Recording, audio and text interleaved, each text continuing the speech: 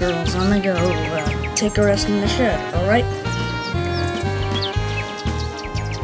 Edward, what do you do? Um, Edward? Okay, Thomas, I'm going to have to tell you something that might not be true, but I'll try. Long, long ago, back when the Titans were in the war, me and another engine named Ashley was fighting in the war, delivering wounded soldiers to nurses. Uh, okay. I was also involved in probably the biggest explosion yet, and the bombers. Ashley was another great engine on the railway. She also contained a very high awareness of herself, as well as the bombings. I'll let you decide whether you should imagine it or not.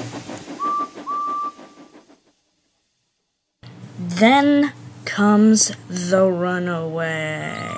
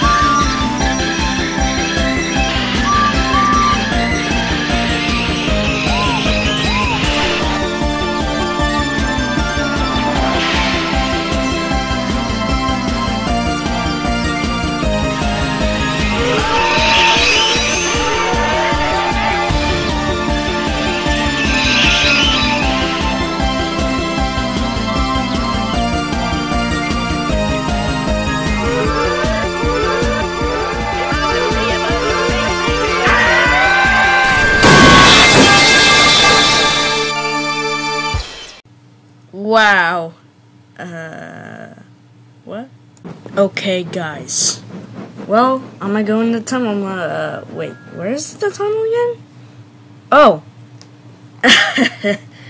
uh, silly me. It's over there. There's the tunnel. But what is in it? I have to tell you.